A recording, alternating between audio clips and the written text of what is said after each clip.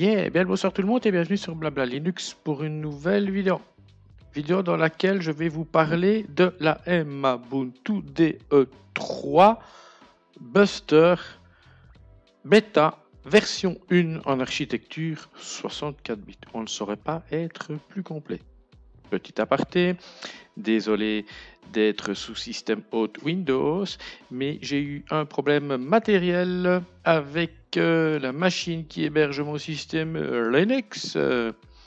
Patrick va encore dire, chaque fois que tu présentes la Ubuntu que tu es sous Windows, il y en a marre, il va encore piquer sa crise, il va boire son verre, il va être crevé sous, et c'est encore sur moi que ça va retomber. Non, je rigole bien sûr, je rigole. Euh, Bon, revenons-en à nos moutons. Donc il y a peu, il y a peu, si je vais dans vidéo.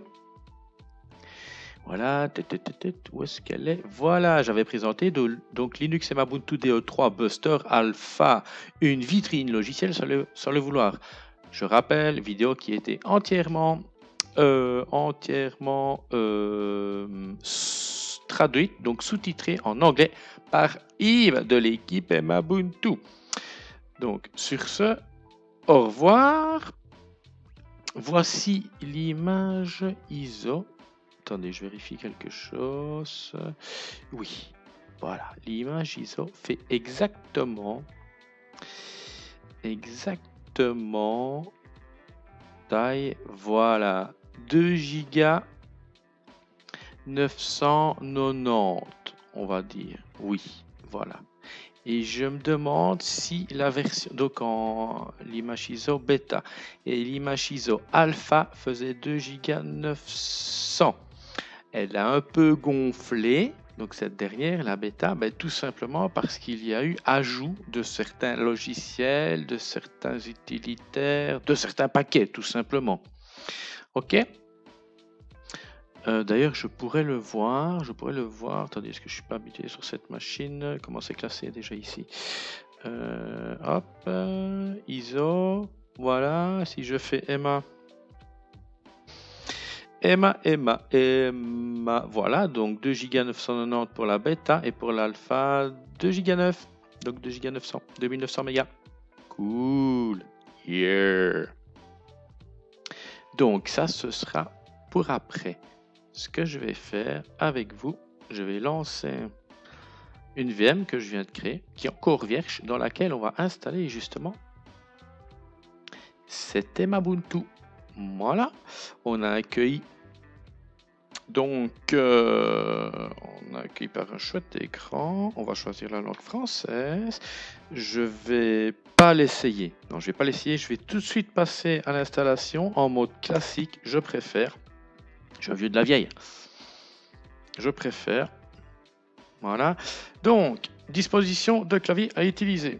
Moi, ce sera, désolé, hein, désolé mes amis français, mais moi, ce sera belge. Voilà.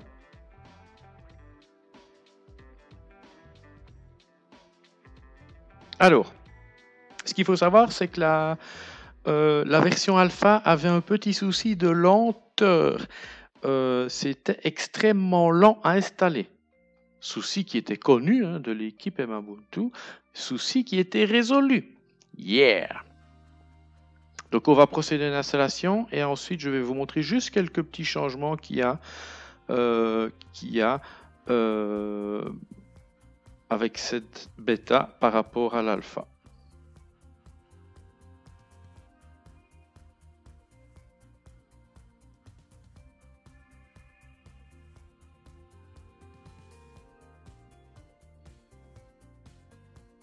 Voilà.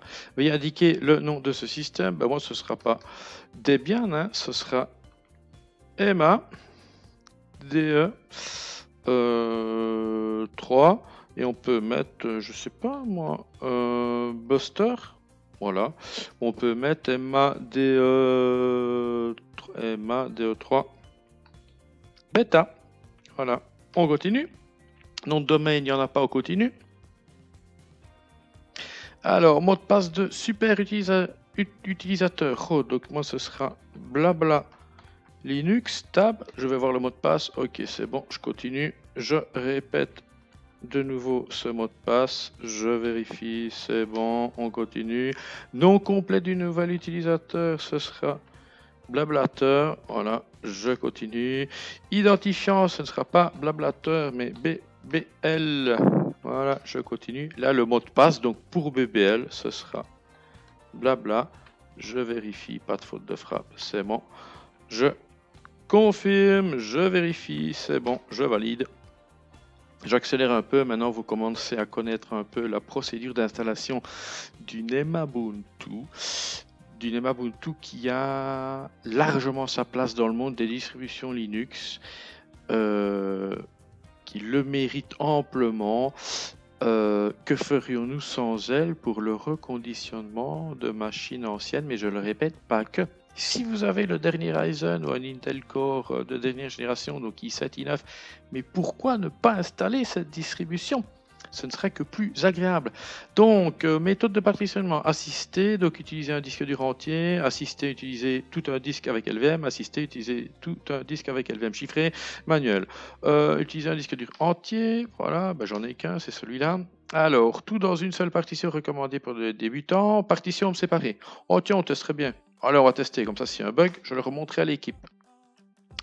Alors, est-ce que je suis d'accord? Donc, partition racine en X4, partition euh, swap. Euh,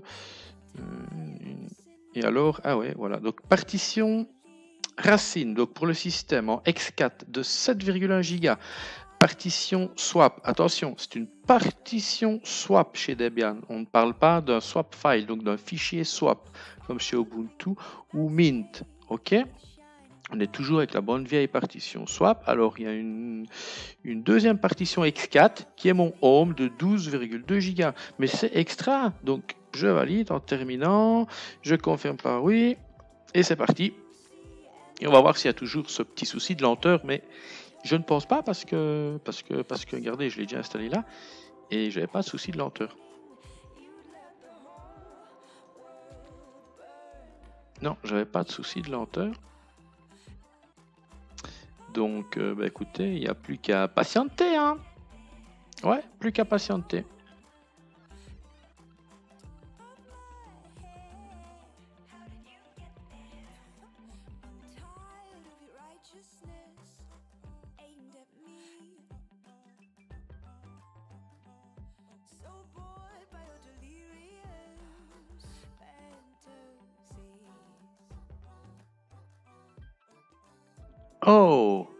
Eh bien voilà, en direct avec vous. Installez donc le système. Échec d'une étape de configuration, une étape de l'installation échouée. Vous pouvez essayer d'exécuter à nouveau cette étape depuis le menu ou la sauter pour en choisir une autre. L'étape qui est échouée est installer le système. Ah, carrément. Carrément. Euh, bah non. Faut insérer le système de base par-dessus l'ancienne station. Oui. Mais que s'est-il passé?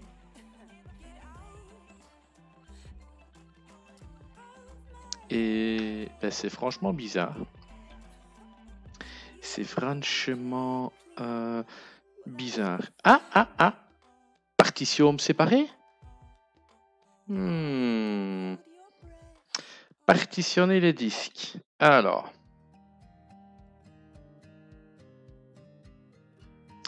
Alors, faire partitionnement assisté. Utiliser un disque dur entier.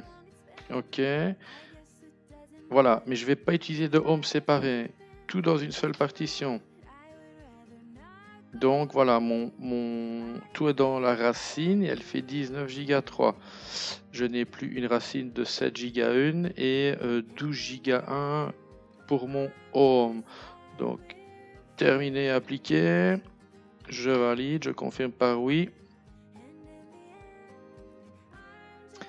Et là, on va voir si ça passe. Ben voilà, ça aurait été en, direct, un petit souci je vais vous dire franco, à chaque fois que je teste la Ubuntu, je mets tout dans une seule partition. Jamais de home séparé. Je ne sais pas pourquoi en fait, parce que mes systèmes Linux à moi que j'installe, euh, bien souvent il y a home séparé. Je ne vais pas dire à chaque fois, mais les trois quarts du temps, c'est home séparé. Mais quand je teste des distributions pour faire remonter des bugs, c'est vrai que je fous tout dans une seule partition. Euh, on va voir si c'est ça. Mais si c'est ça, ben voilà, je ferai remonter le petit souci. Mais avant de faire remonter, je, réessayerai pour voir si le home séparé provoque toujours cette erreur. Il y a un truc que je dois vous dire, c'est que voilà, euh, je trouvais l'installation un peu lente par rapport à celle-ci que j'ai réalisée précédemment. Mais celle-ci, tout est dans une seule partition. Et l'installation se déroulait deux fois plus rapidement. Donc on va voir si c'est un début de piste. Allez, on patiente.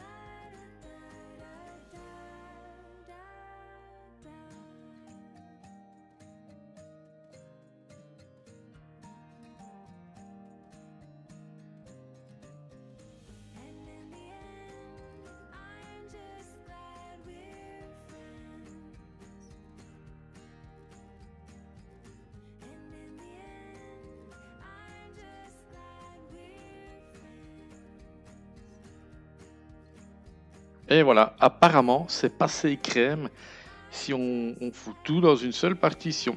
Donc peut-être un, petit bug à remonter, mais pour ça il faudrait que je relance une deuxième install avec un home séparé. L'utilisation d'un miroir sur le réseau peut permettre de compléter les logiciels présents sur le CD. Il peut également donner accès à la version plus récente. Bah oui, oui, je veux bien un miroir logiciel. Ça c'est clair, oui. Euh, alors, je me situe en Belgique. Voilà. Debian, euh, deb.debian.org, ok. Mandataire, je n'en ai pas, donc je continue. Analyse du miroir, téléchargement des fichiers.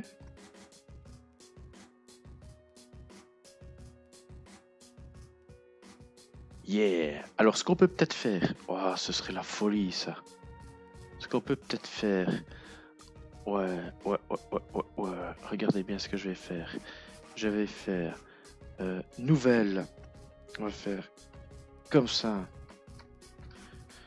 C'est la folie aujourd'hui. On va faire hop. Tuto 2. Non, on va faire que c'est du Linux, du Debian en architecture 64. Alors, on va aller mettre ça sur sur, sur, sur le SSD. Oui, je ne l'ai pas dit. Donc, l'image ISO se trouve sur, le, sur un SSD et l'installation se fait sur un SSD. Donc, tout se fait sur le même SSD. Euh, mais l'installation est quand même rapide. Il faut bien se dire que l'image pèse presque 3 Go l'image ISO. Donc, ce sera data VM VirtualBox. Voilà. Euh, on va mettre ça. On va mettre ça ici. Voilà, là on va mettre 2048, on crée un disque de 20. Donc là, attendez, je vérifie quand même si c'est bon. D, créer. Voilà, configuration. Alors, avancer. Je suis pas obligé de faire tout ça. Je suis pas obligé du tout. Système. Hop, hop, hop, hop, Affichage. Voilà, on va mettre 64. Ok, c'est bon, c'est bon, c'est bon. Stockage. Hop, on va aller chercher. Donc, l'image ISO en bêta utiliser le cache de l'autre. Là, on simule un SSD, le son, Intel HD Audio, juste la sortie, réseau c'est bon, tout le reste c'est bon. Ok, c'est bon. Alors, tuto 2, tu vas aller là. Voilà. Tuto 2, je te lance. Voilà. Elle va sûrement partir sur l'autre écran. Voilà, je m'en doutais. On. Comme ça. On est en français. Je veux l'installer classique.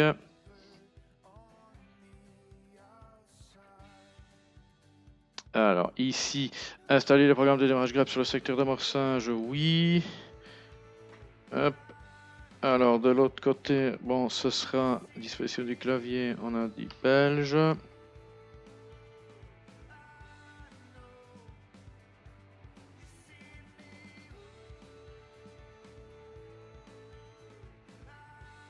Ça, ce sera pour vous montrer après.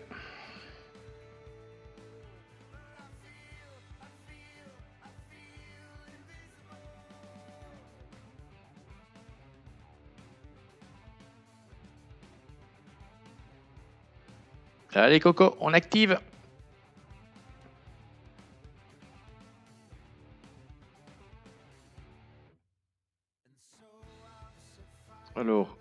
là je laisse Debian, c'est pas important, je continue, notre domaine, je continue. Alors, blabla Linux, hop. Blabla Linux, hop. Blablateur. Hop. BL. Ok. Blabla.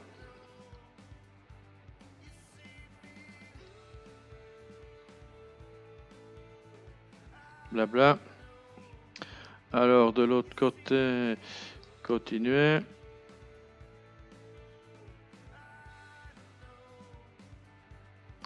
Alors, utiliser un disque entier. Alors, on va choisir une partition séparée. Terminer le partitionnement, appliquer les changements. Je valide par oui pour confirmer. Et on laisse faire, et l'autre devrait bientôt se terminer.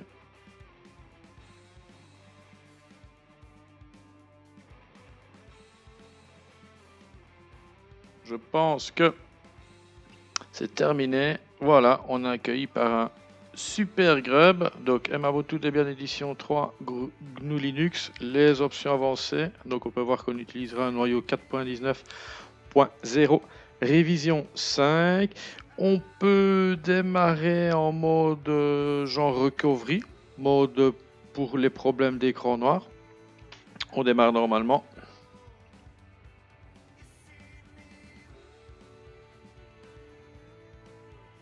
Alors, je vais en profiter. Non, je vais encore attendre. Je vais juste attendre qu'elle démarre. Voilà.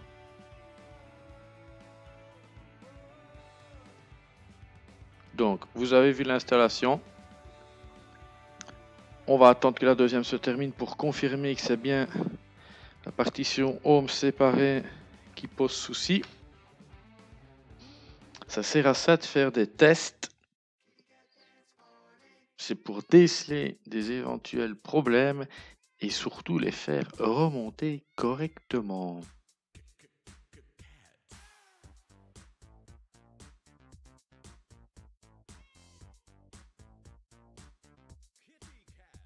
Bienvenue sur Emabotu Debian Edition 3, je valide. J'accélère un peu parce qu'on a déjà vu ça dans la précédente vidéo. Alors, veuillez sélectionner la version de, de, Moi, ce sera euh, Wishker. Là, ce sera Ubuntu. Et là, ce sera plutôt... Non, ce sera celui-là. Oui. Alors, je veux pas l'ouverture automatique de session. Je valide. Yeah. Activer le dock. Voilà, là, il y a déjà un premier changement Cool Premier changement, c'est plus compréhensible. Configuration du dock Aerodock, donc c'est le lanceur d'application. Euh, alors, on active le dock, oui ou non. Est-ce qu'on veut verrouiller le dock, oui ou non? Voilà, configuration du tableau de bord. On ne parle plus du dock, on parle du tableau de bord. C'est ça le tableau de bord. Ok, on veut activer la barre des tâches. C'est chaque fois qu'on va ouvrir un logiciel, un utilitaire, on va avoir donc une tâche qui apparaît on veut activer l'espace de travail, donc ce sera ben, les quatre espaces de travail virtuels. 4 parce que voilà, c'est 4 par défaut. Je valide. Et attention. Yeah. Cool. Est-ce que... Voilà, les additions invitées VirtualBox sont installées. Complètement, c'est cool. Alors, version du doc complète. Je valide. On peut voir, hein, les tâches fonctionnent bien dans le, tableau de XFCE et les espaces de travail virtuels également. Alors, je ne veux pas de... Donc, voulez-vous installer des logiciels non libres de distribution? Non. Afficher cette fenêtre roche à démarrage? Non. OK. Alors, voulez-vous supprimer les langues utilisées dans la distribution? Euh, Oui. Il n'y a rien à faire ici. Hop. Le complément de la langue dessous France.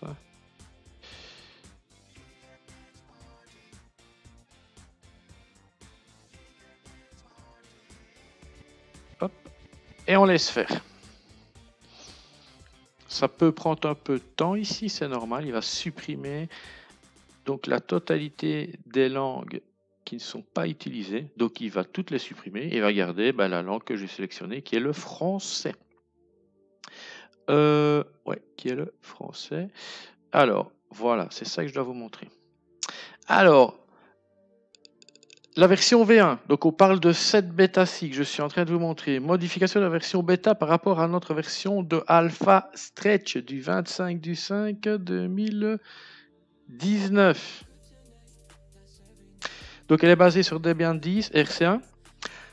Génial. Ajout de, ah, ajout de Redshift, GTK et TimeShift. Yes, ce sont deux logiciels que j'avais proposés apparemment qui ont été acceptés. Redshift, il n'y a plus besoin d'installer vous ferez simplement RED et on peut voir Redshift. On clique, il va se lancer apparaître ici, voilà, et on peut demander un lancement automatique. Euh, Redshift sert à euh, modifier euh, l'intensité de la lumière bleue de l'écran par rapport à l'évolution de la journée. J'espère que j'ai été clair. Alors, on continue. Timeshift. Ah, Timeshift est de la partie création d'instantané. Pour certains, c'est important. On doit élever les droits, donc ce sera blabla. Voilà. Alors, on va utiliser R5 suivant. On patiente, ça peut prendre un peu de temps aussi. Tout se passe bien jusque maintenant, c'est cool. Et notre deuxième VML, elle se passe. Voilà, time shift va avoir fini.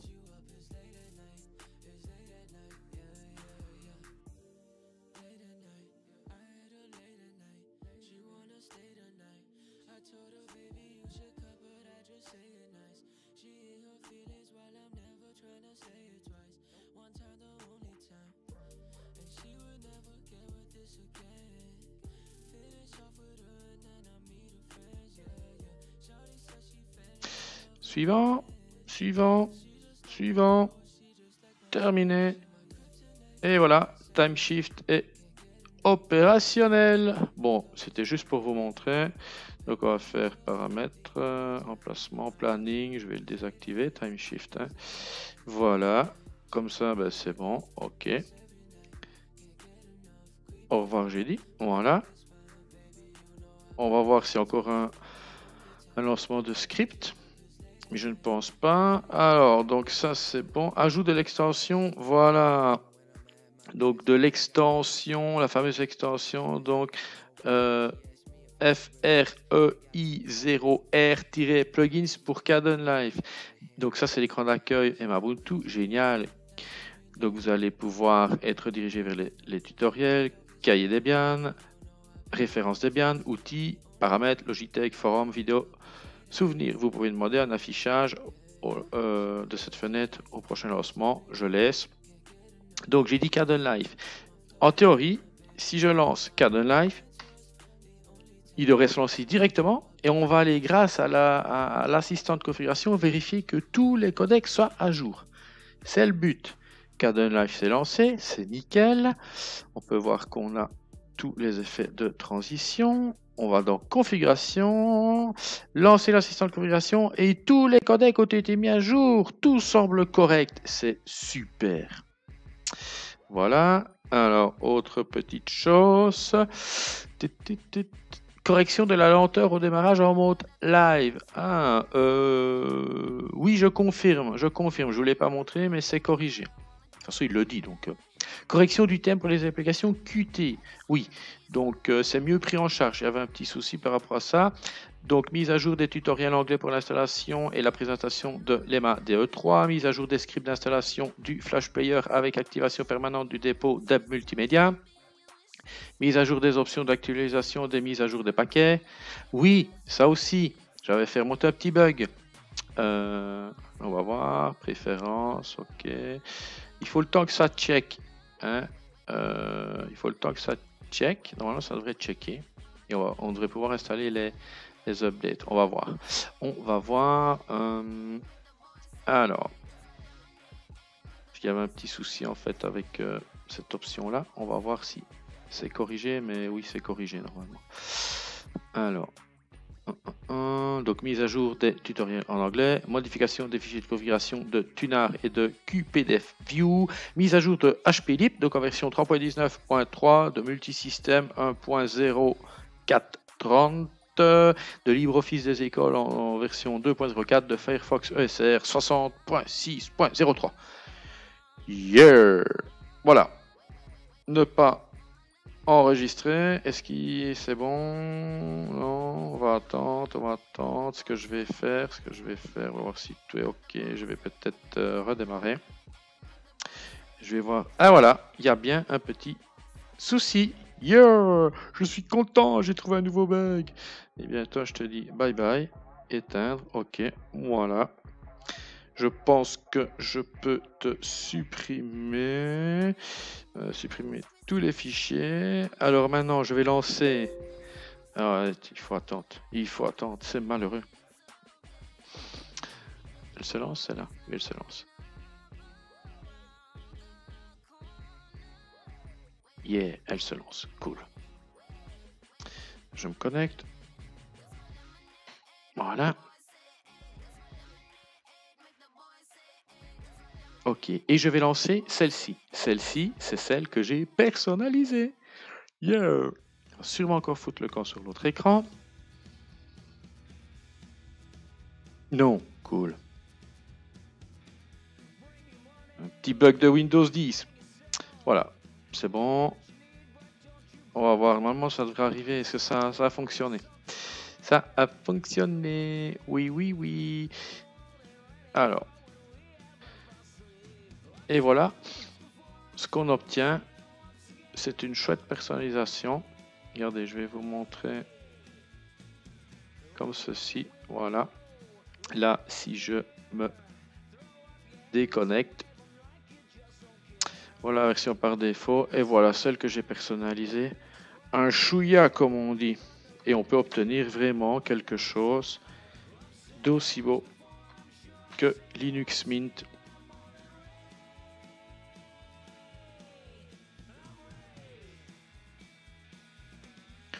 attendre que celle-ci se charge. Voilà, on peut voir ici la modification à ce niveau-là. Donc, comment j'ai fait? Euh, J'ai fait clic droit, propriété. Je veux pas menu session, mais je veux un bouton d'action et je décoche tout et je laisse juste ce bouton. Voilà un exemple. Ici, je ne veux que l'heure. Eh ben, je fais clic droit, propriété, et je vais chercher ceci. Tout simplement, et ainsi de suite, et ainsi de suite, et ainsi de suite. Ok. Euh, on peut voir que j'ai Redshift qui est en route. J'ai Clipit qui est en route. Ah je vous vends une petite info. Vous pariez avec moi, vous, allez, on, lance les paris. Vous pariez avec moi que dans la prochaine version bêta, hein, la V2, ou, peut-être pas, ou la, version finale, vous pariez avec moi que Clipit sera intégré à l'image. Allez, Clipit est un gestionnaire presse-papier, j'ai réalisé une vidéo sur son sujet. Alors j'ai ajouté la corbeille, j'ai modifié l'icône du menu des applications, j'ai tout passé en black. je vais faire un CTRL F, voilà, j'ai tout passé en black. Yeah. Et alors j'ai modifié le doc, et oui, parce que regardez, si je fais CTRL F, tout est modifiable. Hein. Donc, regardez, c'est du black. D'ailleurs, si je vais chercher Tunar, que je vais chercher Tunar ici. Voici le menu des applications là et le menu des applications là. le gestionnaire des paramètres, le gestionnaire des paramètres. Voilà, on arrange ça à sa sauce, comme on dit. Alors, j'ai apporté, des modifications au niveau du doc. Euh, je pense, attendez, audio. Audio. Voilà, ouais, regardez. J'ai supprimé toute cette partie ici. Allez, petite astuce. Comment faire? On va, vu que j'ai verrouillé le doc, je me rends sur Kerodoc. Euh, non, je vais le faire ici, je me trompe. On va faire Kerodoc. On va... Euh, protection du doc. On désactive la protection. On rentre son passe pour élever les privilèges. Le doc, la, protection désactivée. Donc si je fais un clic droit, Kerodoc configuré. Euh, alors attendez, je fais le malin moi maintenant. Je fais le malin apparence. Ben voilà, je fais le malin, élément courant. Voilà, doc du bas. Et eh bien ce que j'ai fait, j'ai fait ceci. Clic droit, enlever cet élément. Clic droit, enlever cet élément. Clic droit, enlever cet élément. Clic droit, enlever cet élément clic droit, enlever cet élément, clic droit, enlever cet élément, et, et, et, et, clic droit, enlever cet élément. Si vous voulez modifier un peu, regardez ici, comment ça se passe? Hop là Mais ici, moi j'ai fait autrement. J'ai fait, hop là Donc comment est-ce que j'ai fait? Euh, Ouais, comment est-ce que j'ai fait? Comment est-ce que j'ai fait? Configuration. Alors,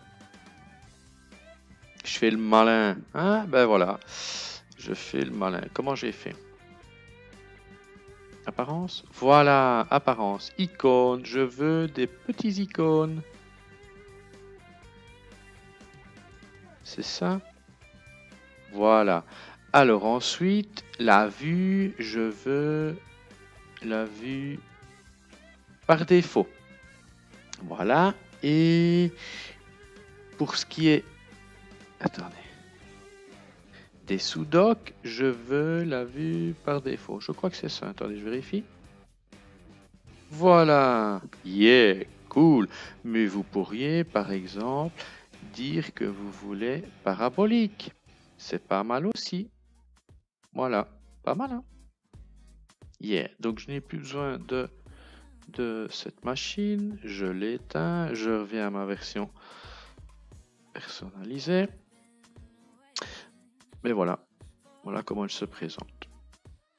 Et elle fonctionne très très bien. Voilà, je ferai bien entendu d'autres vidéos euh, sur cette Ubuntu DE3 parce que j'ai promis de donner un peu de temps, surtout euh, voilà, en, proposant quelques idées, parfois des bonnes, parfois des mauvaises en faisant des petites remontées de bugs, ça aide. N'hésitez pas, quand vous voyez que sur le site, hein, je vais rappeler tous les sites officiels, quand vous voyez qu'il y a une image qui sort, hein, une version alpha, téléchargez-la, installez-la en VM, testez-la, faites remonter les bugs. Même sur la version finale, yo, il y a toujours des bugs, mais vous testez, vous faites remonter ça. Si vous ne savez pas comment faire pour faire remonter un bug, vous me le dites, vous me l'expliquez, je le ferai remonter. Voilà, sur ce, je vous dis bye bye une prochaine, c'est Annie pour Blabla Linux. Allez, ciao ciao.